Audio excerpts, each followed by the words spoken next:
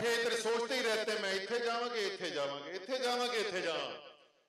बिलाल ने वक्त पे फैसला करके साबित कर दिया है। और ये कौन सा वक्त था मैं याद दिला दूँ? जब पूरा पाकिस्तान कहता था, एक पूरे नहीं होंगे। इधर ही आपके करीबी इलाके का एक बंदा है, शायद आपने उसको देखा हो। देखा है मुछा वाला? हाँ?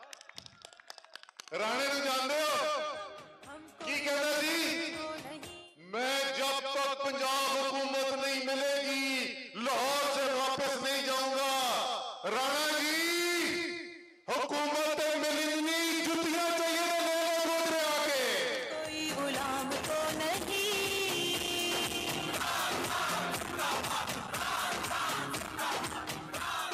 उस माहौल में जिस वक्त शाह जी से, फवाद चौधरी से, मेरे से हर एंकर ये पूछता था कि जी, एक सौ छियासी तो आपके आपने आप एक लीडर हो? आपको मुबारकबाद देता हूँ, खराज तहसील पेश करता हूँ। और वो फवाद को याद है कि नहीं है, वो मास्टर कार्ड का एक इश्तहार चला करता था। कि फलानी चीज़ इतने पैसे की, फलानी चीज़ इतने पैसे की, फिर एक आखिरी चीज़ प्राइसलेस तो उस एक सौ छियासी वोट के ऊपर राणे की और अता तारे की बूथी के ऊपर जो शक्ल थी वो प्राइसलेस थी। तो उसका खास शुक्रिया। अब जी, बिलाल, तहरीक तो आपने शामिल कर ली है, शामिल हो गए तहरीक में। अब आपको पता होना चाहिए कि आप किस तहरीक में आए हो। ये कोई छोटा मुकाबला नहीं। आप एक इलेक्शन लड़ने के लिए नहीं सिर्फ़ शामिल हुए। खान बार बार क्या कहते हैं जी? मैं सियासत नहीं कर रहा। इमरान खान एक जिहाद कर रहा है। और किसके लिए जिहाद कर रहा है? वो अपने लिए नहीं कर रहा।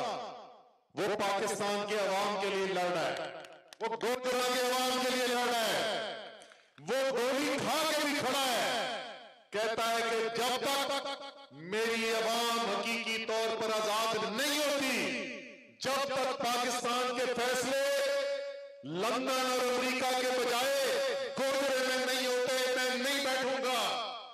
उस तरीके में आप आयो और इन ताला, जैसे आपने दरेलाना फैसला किया, वक्त पर किया, इसी तरीके से मुझे यकीन है कि आप आगे भी इस तहरीक में दलेरी से खड़े रहोगे। मैदान सजने वाला है। मैंने बातों में सुनी है शादी की, मगरब से पहले। मैं आखिर में गोबरे वालों के ज़रिए एक बंदा उसको पैगाम पहुंचाना चाहता हूँ। एक बंदा कवाचा है।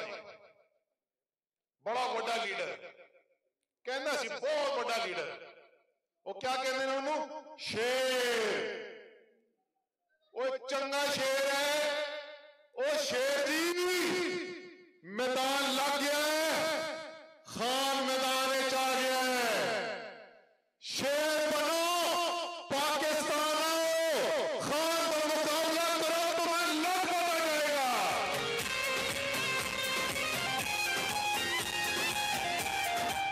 इंशाअल्लाह ताला मिलकर